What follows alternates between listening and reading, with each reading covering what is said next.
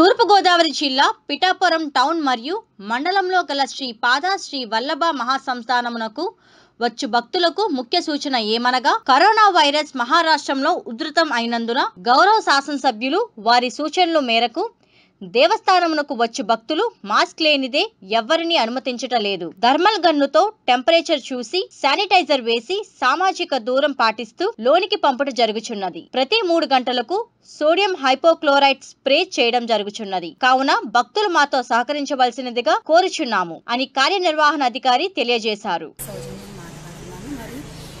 Corona virus అనేది second wave ప్రారంభమైన సందర్భంలో మరి పిఠాపురం స్థానిక శాసనసభ్యులు గౌరవనీయులైన శ్రీ పన్నం దొరబాబు గారు మరి మమ్మల్ని అడగడం జరిగింది. మరి మన దేవస్థానానికి ఇతర రాష్ట్రాల నుంచి ఎక్కువగా భక్తులు వస్తారు కదా మీరు దీనికి తగిన చర్యలు ఏమైనా తీసుకుంటున్నారా తీసుకోండి అని చెప్పడం జరిగింది.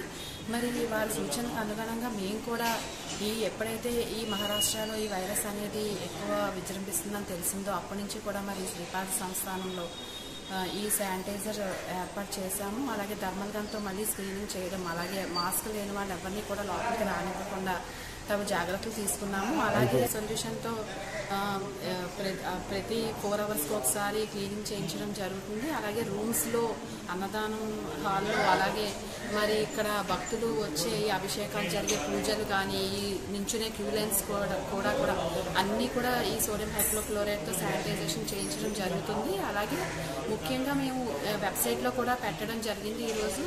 అంటే ఒక రిక్వెస్ట్లా పెట్టాము. ఏంటంటే మహారాష్ట్ర నుంచి వచ్చే భక్తులు దయచేసి అక్కడ మరి ఎక్కువ ఉండడం వల్ల ఈ కోవిడ్ నైన్టీన్ అనేది కొన్ని రోజులు వాళ్ళ ప్రయాణాన్ని వాయిదా వేసుకోగలరని చెప్పేసి మా తరఫు నుంచి మరి మేము రిక్వెస్ట్ చేస్తున్నాం. దీన్ని భక్తులు అందరూ గమనించి మరి మాకు సహాయ సహకారాలు అందించాలని కోరుకుంటున్నాం.